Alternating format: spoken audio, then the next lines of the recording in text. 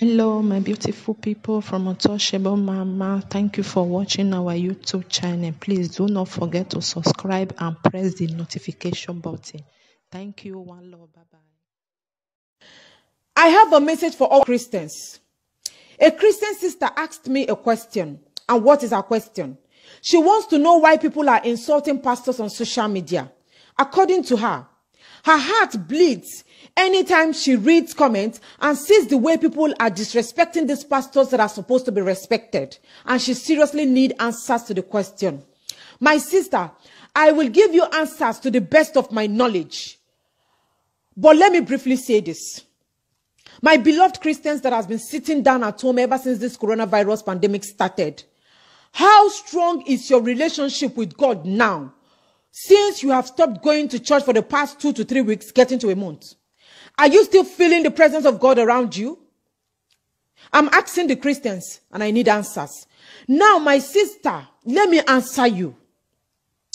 The reason people are insulting your pastors on social media is because your pastors do not practice what they preach.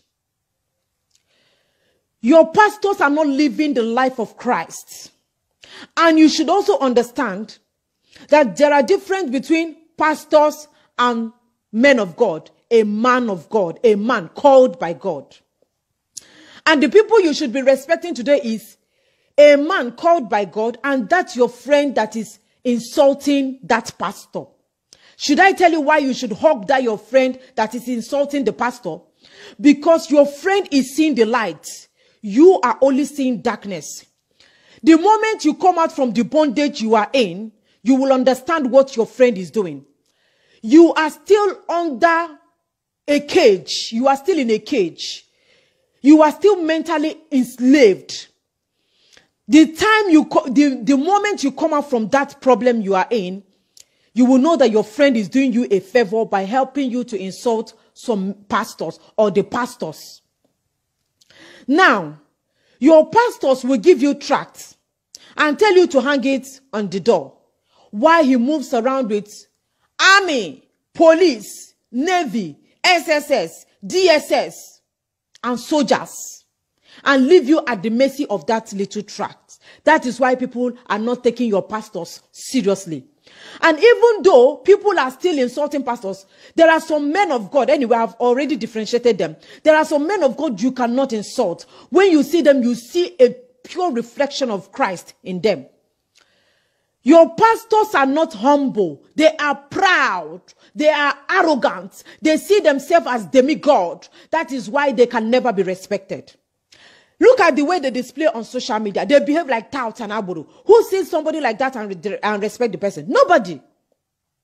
The reason your pastors are not respected is because your pastors have turned the churches, your, the so-called churches, to a business center. The church is now profit oriented. That is why they don't take them seriously. They see them and politicians as five and six. And they see the politicians and the pastors as the major problem they are facing in Nigeria. And they see that your pastors are capitalizing on the problem of Nigeria to use it against you. Now, your pastor is selling oil of Galilee for 5,000, water of Bathsheba for 10,000, and also handkerchief for miracle. What is the significance of those things? When Jesus Christ was on earth, Christians, was there a time he sold oil and water to do healing? People are disrespecting your pastors because your pastors are entertainers. They now do show in their churches. Every pastor wants to raise the dead. Every pastor wants to do a miracle. Every pastor wants to heal the sick. When last did you go to church and your pastor is talking about salvation, telling you where your soul is going to? It's not happening again. They are only preaching prosperity, sow seed, offering and tithes to your tent, O Israel. Everybody goes. That is why they are disrespecting your pastors. They are disrespecting your pastors because the pastor will tell you, come as you are. That is why you will go to church and see naked women dressing half naked. Even the pastor wife is sitting down like a Jezebel. The ones that call themselves female pastors are painting their faces, painting their mouth. They are like queen of the coast, sitting down. And you are saying that these people should be respected. No. Anybody that is, is, insulting pastors like this, go and hug the person. Give the, in fact, you need to dash the person money.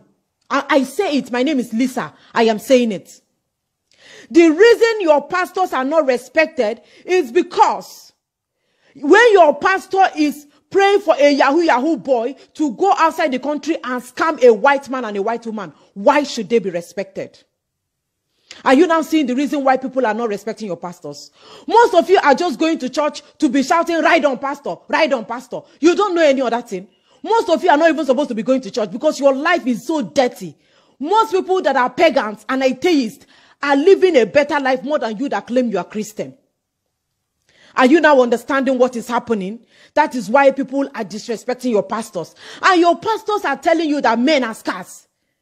Men are not actually scarce. They tell you that God will give you your own husband.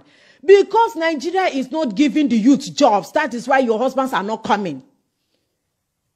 Do you understand that they are using the deplorable state of Nigeria to take money and extort money from you?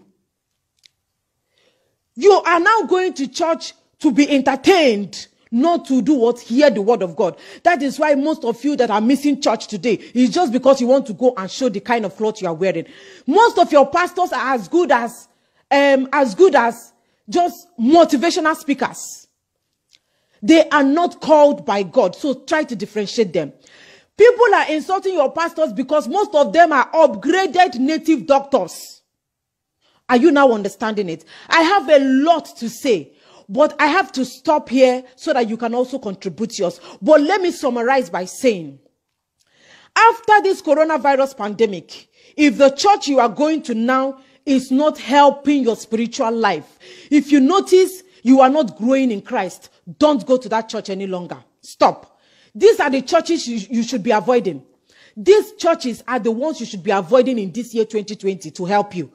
Any church that you are going to and they are carrying POS around, stop going to that church, scam alert. The house of God should not be a place for business transaction. Your church should not be a bank. Do not go to a church where they are using POS to pay tithe and offering, including sow seed. Any church that is not preaching salvation, sanctification, run away from such church. Because the Bible said, it's appointed unto man to die once after with judgment. If your pastor is not telling you where you will spend your eternity, your pastor is a robber of your soul. He wants to rob you from your blessings.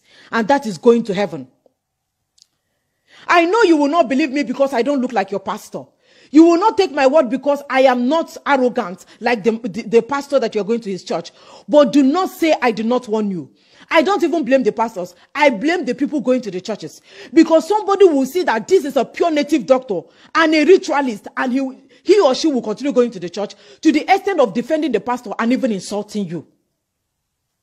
Any pastor that stands on the pulpit of God and talks about money, say who will bring $1,000, who will bring 500,000, who will bring, that pastor is a scam. The person is not called by God. I stand to be corrected. Run away from such people. So you have seen the kind of churches you should not be going to for your soul. That is why the psalmist said, have you counted the cost if your soul should be lost? If they don't tell you about sanctification, run away from such churches. Go to a living church where your life will grow. There is no repentance in the grave. The best thing you will do for yourself is to save my video. Don't say I did not warn you. Continue going to church because of miracle husband, miracle money, miracle cars, miracle houses. You will leave all those things and you will go and account for your soul. That is the, the level I can say for now.